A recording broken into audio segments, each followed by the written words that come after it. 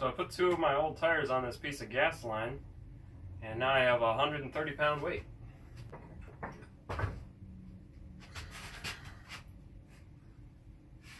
Perfect for squats.